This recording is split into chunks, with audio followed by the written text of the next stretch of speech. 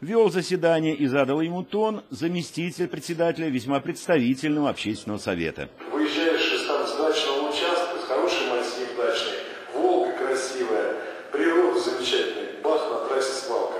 Или там в городе Саратове то же самое. И, или, например, меня тоже вопрос интересует. Эм, опять же, если говорить о предприятиях там нефтепереработки, да, ГСМ, то у них есть свои технологические циклы, они наверняка имеют возможность переработки, утилизации все остальное, потому что они все-таки вписываются в инновации технологические. А вот фермер, например, выращивает скот, э, выращивает скот, забивает его, то, то ли в Саратове, то ли в Пензе, мне все равно. Куда он девает эти кости, э, все остальное? В ответ неутешительной статистика из уст заместителя председателя Комитета охраны окружающей среды и природопользования Дмитрия Соколова. На территории области около 50 миллионов тонн отходов сохраняется тенденция к их увеличению.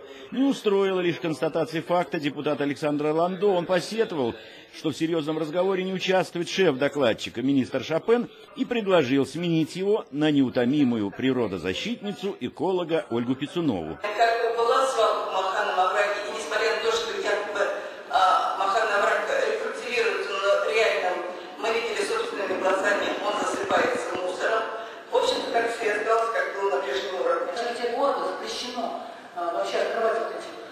что вообще он собирается с этим делать? Почему?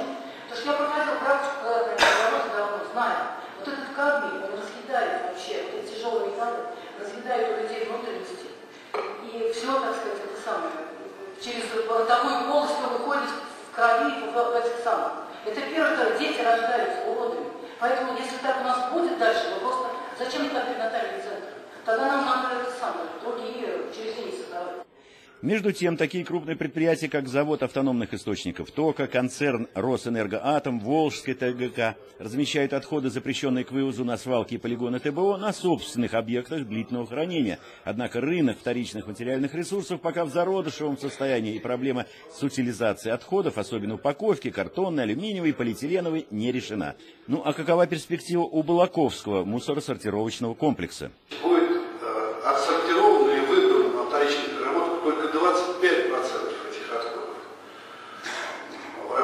Одного муниципального образования, как пилотный проект.